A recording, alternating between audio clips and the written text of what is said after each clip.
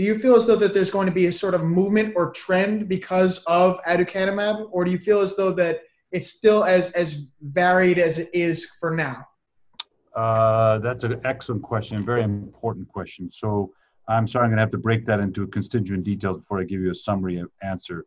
One is that I think one of the big takeaways, disappointing takeaways from at uh, at a AAIC was the DIAN uh, study negative results. Mm-hmm. And to me, you know, I think the takeaway from that is that it's very hard to use a clearance based mechanism to treat a overproduction based disease. So when you look at the presenilin mutations, those are overproduction based diseases. Mm-hmm. And so the question obviously is does removing of the amyloid in a, a clearance may not be enough. So that's so what I'm saying is that I don't come away saying these approaches are wrong. I'm saying I don't know that we tested it correctly or uh, answered it as well as we could. Uh, but what you will see now is that aducanumab has reignited the field, excited the field. You are now seeing, of course, that there will be something called segmentation where you start to break the disease into constituent parts you'll see, of course, that we can have disease modifying therapies, and assuming that you know ADU is approved, you could see an, you know a BAN 2401 and gantenerumab falling on the heels of that.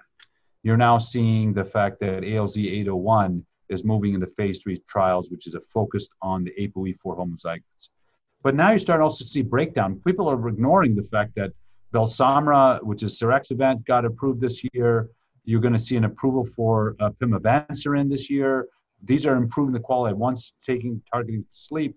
One's targeting uh, um, one's targeting the uh, uh, psychotic features of the dementia, and we'll start to see a little bit more. We'll see something from the uh, the agitation. There's about two or three drugs about to be approved for agitation or being on the short list to be approved for agitation.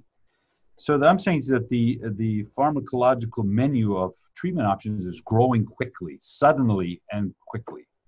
Uh, but you know, the monoclonals will kind of be there to slow the rate of decline, but it doesn't mean that you won't use the other drugs. It just means that you're going to be picking them. I see to me that the evolution of Alzheimer's will be more like HIV, right? So you don't you choose different drugs a, a, along the way to treat, you know, different phases of the disease. Uh, uh, so you know, I think AAIC just is the big dog and pony show of our our universe. So you saw a lot of things, and I don't know that you can take away one big trend this year. I think the one big trend I took away from AIC in 2019 was that lifestyle targeted approaches handily were beating the drug targeted approaches. That was my takeaway. I'm like, wow, lifestyle. Forget forget drugs. We just go and run. We'll be fine. but uh, uh, high lifestyle targeted approaches was the takeaway. So I didn't get a single takeaway. I think biomarkers was very exciting this year, but I didn't take a single way takeaway on the therapeutic side. Sorry for the long answer.